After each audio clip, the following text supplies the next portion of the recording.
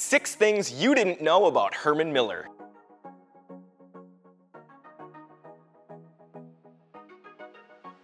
Number one, the Herman Miller name origination. Herman Miller was founded as the Star Furniture Company in 1905.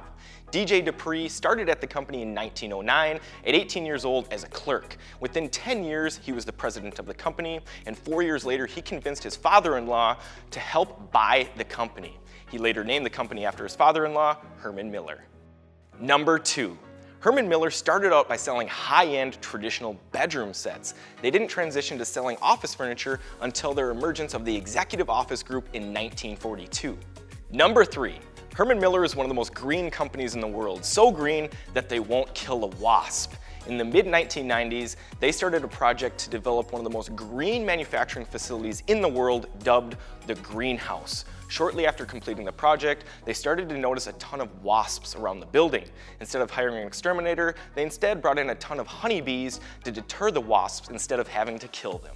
Number four, Herman Miller invented the cubicle. In 1968, Robert Propst, working for Herman Miller, came up with the idea to have a cubicle-like design. He pictured something very modular, something that you could customize to every employee's needs with a lot of space and some privacy, and thus came the cube. Number five, the Herman Miller and Howard Miller connection.